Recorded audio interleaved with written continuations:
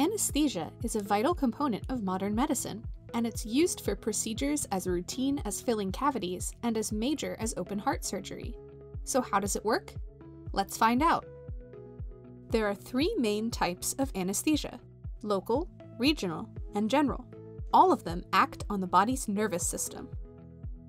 Local anesthesia is either injected or applied topically. It numbs a small, specific area the drugs used for local anesthesia prevent specific types of neurons from passing pain signals to the brain. They do this by blocking sodium channels in the cell wall of these neurons. Normally, these sodium channels help an electrical signal to pass along a neuron's axon. If the channels are blocked, this can't happen. When undergoing local anesthesia, patients are still fully conscious, they just can't feel pain at the site of the procedure. Regional anesthesia is similar to local anesthesia in that patients remain conscious. The main difference is that regional anesthesia is administered further from the site of the procedure, near a group of specific nerves, and it typically numbs a larger area.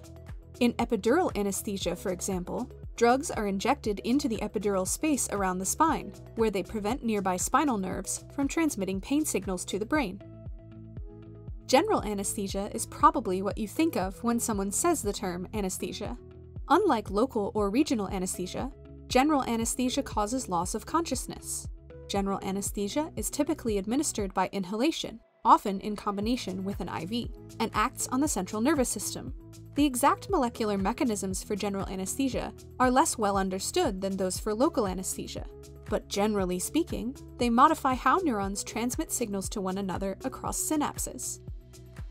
Visible Body Suite has all the 3D models and physiology animations you need to learn about the nervous system and how neurons pass electrical signals throughout the brain and body. Learn more at visiblebody.com/vbsuite.